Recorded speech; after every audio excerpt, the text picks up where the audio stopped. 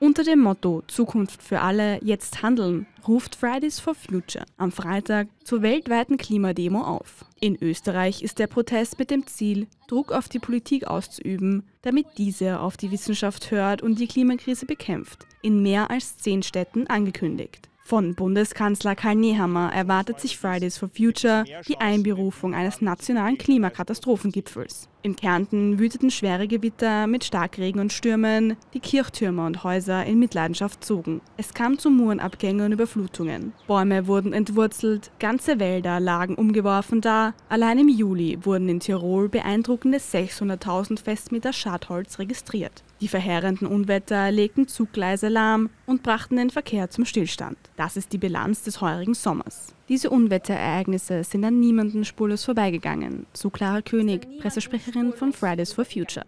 Alle haben es mitbekommen, nur anscheinend einer nicht, der Kanzler. Sie vermisst klare klimapolitische Antworten von Bundeskanzler Karl Nehammer. Ein führender Politiker muss ihrer Ansicht nach alles dafür tun, um die Auswirkungen der Klimakrise abzumildern. Deshalb fordert König die Einberufung eines Klimakatastrophengipfels, der die Bundesregierung und Landespolitik einbindet. Ziel sei es, eine Zeitwende in der österreichischen Klimapolitik einzuläuten.